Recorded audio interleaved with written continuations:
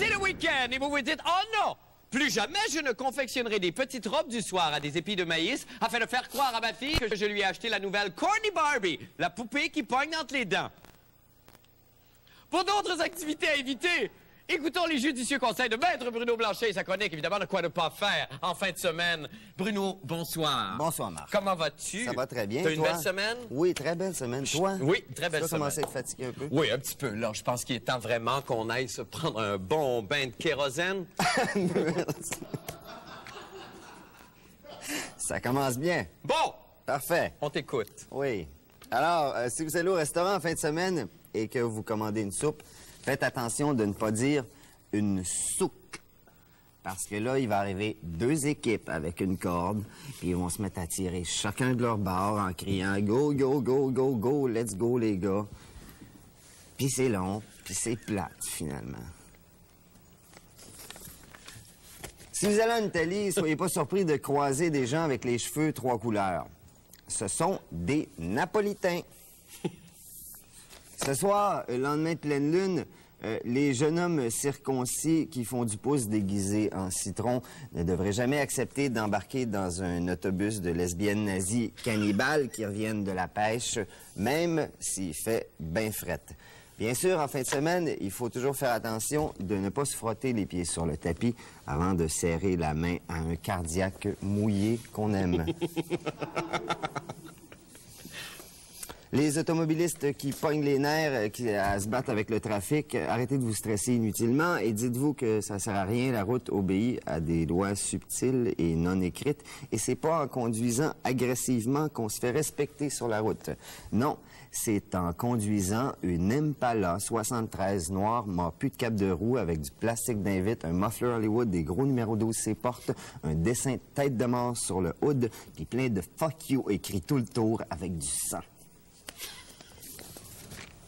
À la demande générale, voici le retour du conseil de Monsieur Ciao. On écoute ça. Oui. Si vous voulez pas mouiller le pied, vous devez euh, pas euh, à. Merci beaucoup. Merci. Ah oui. Il y a des gens qui envoient beaucoup la main dans la vie pour toutes sortes de raisons, comme les duchesses du carnaval ou d'autres, je sais pas.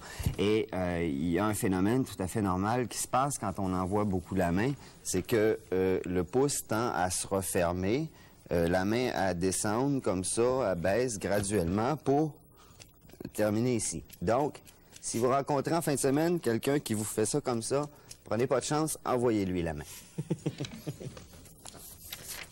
Bien entendu, en fin de semaine, soyez toujours très attentifs pendant vos cours de sushi naturiste. Et euh, pour terminer, euh, plutôt qu'un conseil, combien est-ce qu'il nous reste de temps? Combien il nous reste? 50 secondes, c'est beau. OK. Euh, J'aimerais vous offrir des images exclusives d'un nouveau super-héros qui devrait peut-être prendre d'assaut les écrans de cinéma dans le temps des fêtes.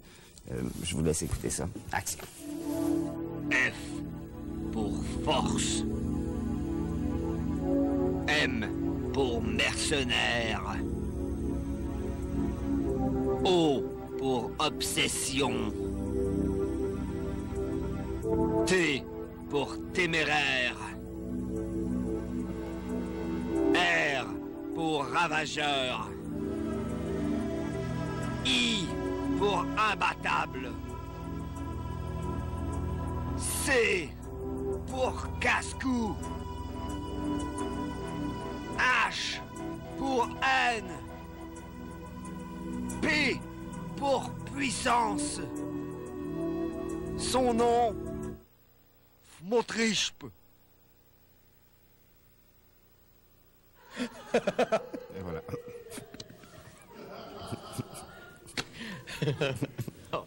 J'ai hâte de voir ça. Merci beaucoup, Bruno. Merci, Marc. Puis bravo, hein. Sans lunettes, là. Merci. Pas mal, hein? T'es bon. Merci infiniment. Allons faire une petite pause et revenez-nous pour un peu plus d'informations tout de suite après ça.